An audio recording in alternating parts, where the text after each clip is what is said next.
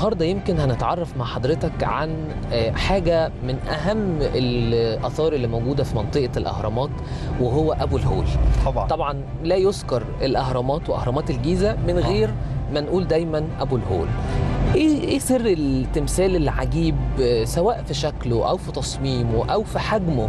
وإيه سر بقائه وشهرته النهارده وارتباطه مع الأهرامات؟ إحنا هنتفرج على أقدم مريض في الدنيا. هو يعني هنتكلم عن الإنس... عن الش... عن الشخص الصامت أيوة. وعن أكثر الشخصيات السخريه ينظر للزمن منذ 40 قرن ولما وقف قدامه نابليون بونابرت قال كده أنا أنظر 40 قرنا من الزمان؟ يعني 40 قرن بيبصوا لي.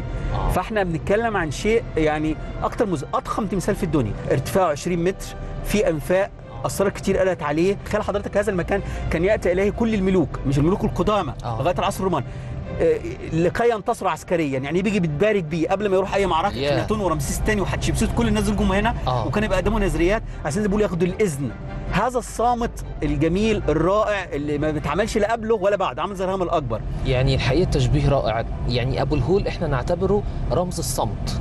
بس الصمت والصمود. آه، وإيه؟ وال- هو تكلم ثلاث مرات على فكرة. الناس؟ ما تعرفش إن أبو الهول اتكلم. لا إزاي بقى؟ ولا حضرتك لا دي جديدة. آه اتكلم في عهد تحتمس الرابع. كان عندنا ملك اسمه تحتمس الرابع. تمام.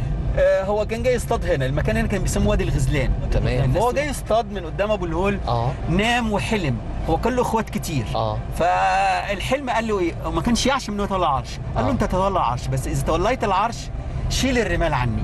وبالفعل ياه. تمكن تحتمس الرابع إن هو يتولى عرش رغم انه ما كانش له حق خالص. مم. فأزاح الرمال عن مين؟ عن أبو الهول. سنة 36 برضه كانت غطى كل الرمال أو إيه، غطت الرمال برضه أبو آه، الهول آه، فجالنا واحد اسمه رائع اسمه سليم حسن كان عالم مصريات أيوة. برضه جالت له نفس الفكرة وجاله في الحلم آه. فازاح الرمال برضه جاله ابو الهول كلمه وأزاح رمال آه. سنة 62 فكر الرائع جمال عبد الناصر في عمل مشروع الصوت والضوء ولو آه. حضرتك جيت بالليل ستجد إن أبو الهول بيحكي لنا تاريخ منطقة الأهرامات طبعا ده من من أعظم. المشاريع اللي فهو ثلاث. مرات من عهد آه، تحتمس الرابع عندما أيوه. تكلمه وجاله في المنام وسليم حسن في 36 وفي 62 إنما وظل صامتا ظل شاهدا على تاريخ مصر.